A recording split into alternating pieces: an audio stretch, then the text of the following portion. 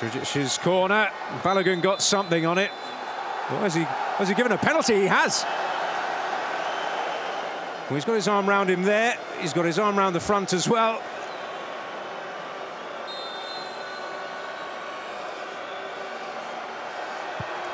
Modric surely seals it for Croatia. And that is the insurance goal that they wanted.